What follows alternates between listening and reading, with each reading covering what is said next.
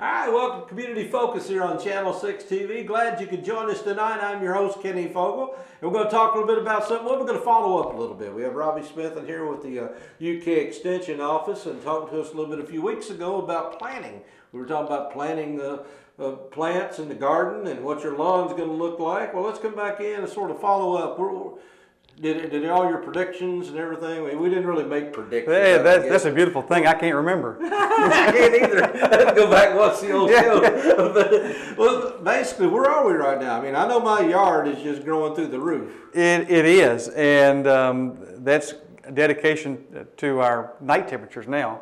Uh, you know, a couple of weeks ago, we were still in uh, pretty cool night temperatures. wasn't a lot of growth going along. Uh, and then we've been through a, a number of days um, before this week that were wet or at least cloudy and humid and all these kind of things. So we're seeing some things in the garden that um, that we hope rectifies itself as we warm up here. We're seeing yellowness on peppers. We're seeing tomatoes that aren't really happy looking from having wet feet and cool temperatures. Uh, we're seeing a lot of brown patch on fescue lawns, especially some of our newer fescue lawns in lower areas that are that are stay moist from Yeah. dew and things uh, for a longer period of time. We're seeing that happening right now.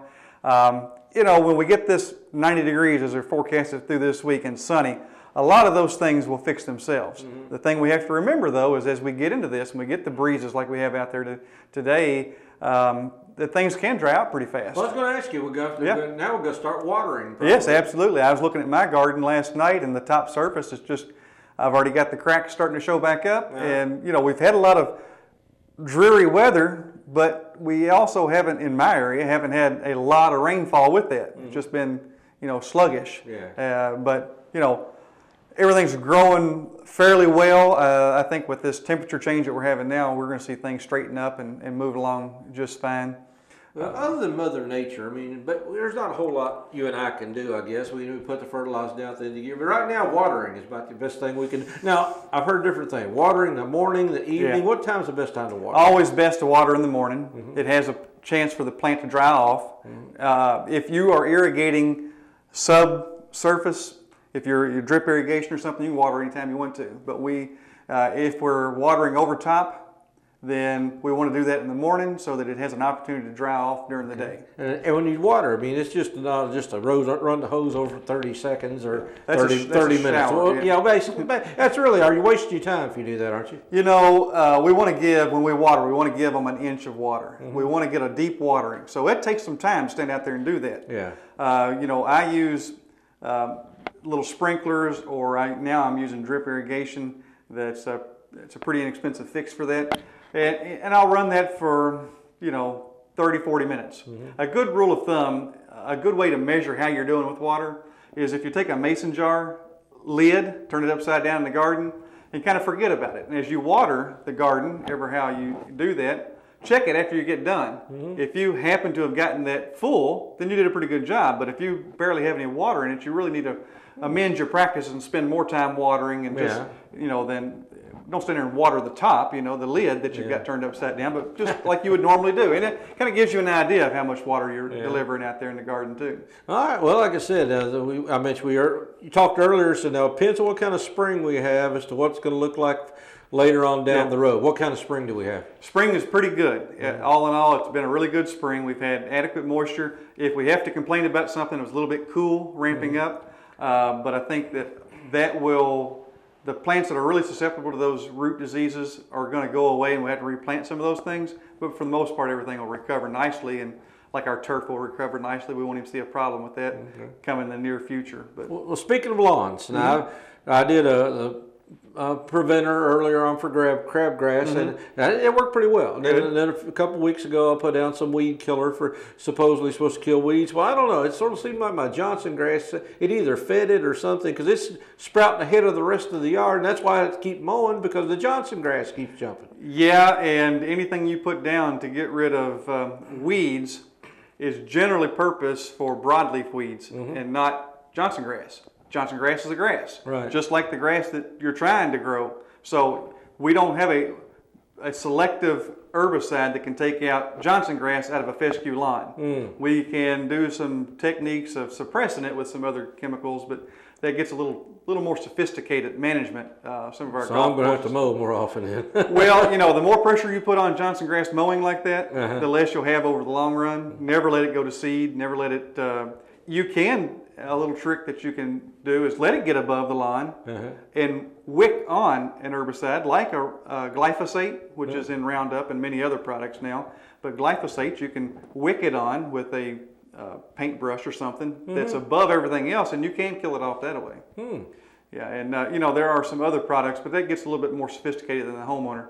You'll see that our our, our county and state roads uh, crews use a product that can suppress it. Now it'll come back by the end of the year, but it suppresses it pretty good. All right. Well, is there any other tips we need to know right now? Or are we just going to just what see what's going to happen the rest of the summer? We'll go through drought and whatever else we go through. Two or three things you want to really watch out for right now. Um, aphids are really bad on daylilies.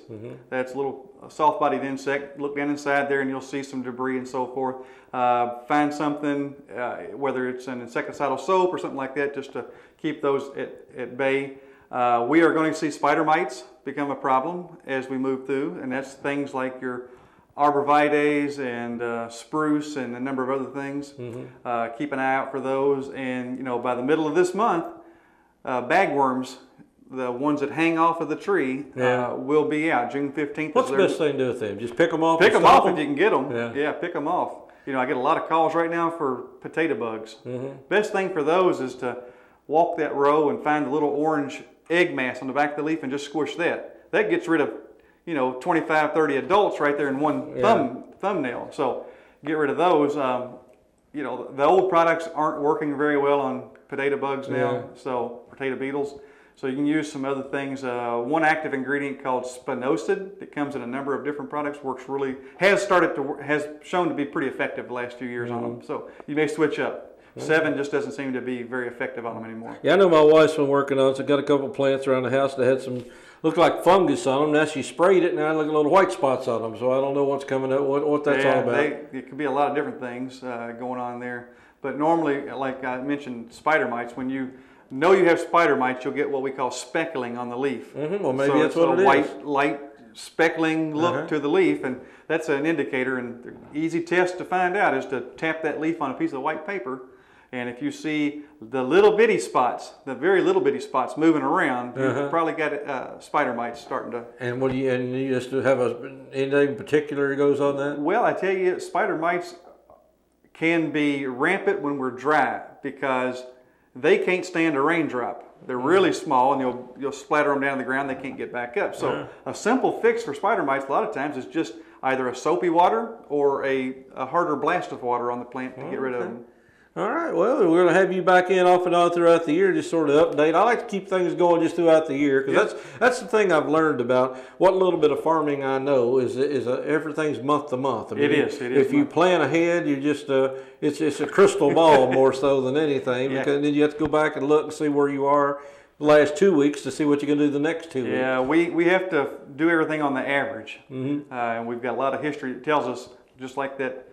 That uh, bagworm, we know that on average it emerges around 15th. This year it'll probably be a smidge later than that. Uh-huh. Yeah. But we, we just go by averages that we, we know when to look. Okay, and I know you're getting ready to go out and pick kale. I mean, it's Yeah. already that time of year. Yeah, we're gonna go pick a little kale this afternoon. Yeah, so you're uh, so even on your time off, you're farming. Well, I ain't, I ain't off. So this is, this is part of um, something that we're working on is our neighborly nutrition program that we're trying to get more healthy food choices into our food banks. Uh-huh. And uh, we've got a farmer that's partnered with us. And so I'm taking a small crew out uh, this afternoon and we're going to pick a few bags of kale to go to the food bank. Absolutely wonderful. So everybody benefits. That's just Yeah, and what. anybody can participate in that Uh-huh. and, and grow some extra produce this summer and, and put it into our food banks. Anyone you want to choose, you know, it, it's always a, a blessing to get good, healthy choices for, for folks as well. Well, UK's got an extension office in every county in the state that I know of. So if somebody wants to get a hold of you, they, I know you're at the C- Civic Center on South Third Street. Yeah, uh, the extension office there on 317 South 3rd Street. You can give me a call at 348 9204. Uh, email me. I'm, I'm on that all the time with Rob Smith at ukY.edu. All right. Well, now you got some answers. Now you got some well, place to go to get some more questions answered. So uh, you know what you do. We're going to see if we can get you through the year and get everybody fed and get out and have a happy garden. I do it for a hobby, but I love to eat. So Very good, yeah. All right, stick around. We got Robbie Smith here from UK Extension Office. We appreciate him coming in, and updating us on what's going on in the world of agriculture, and hopefully you all doing a good job. And your your uh, lawn, garden, flowers, and everything are blooming just the way you want them to be. If not, give them a call. All right, we're going to take a break here right now. We come back. We'll have more here on Community Focus here on Channel 6 TV right after this.